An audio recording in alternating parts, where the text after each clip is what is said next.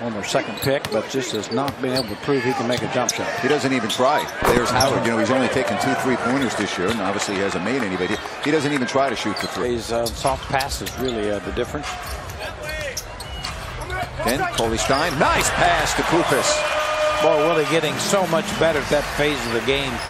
Here's Kidd-Gilchrist. Kaminsky. And he beats the clock and scores. So they didn't use the foul to give.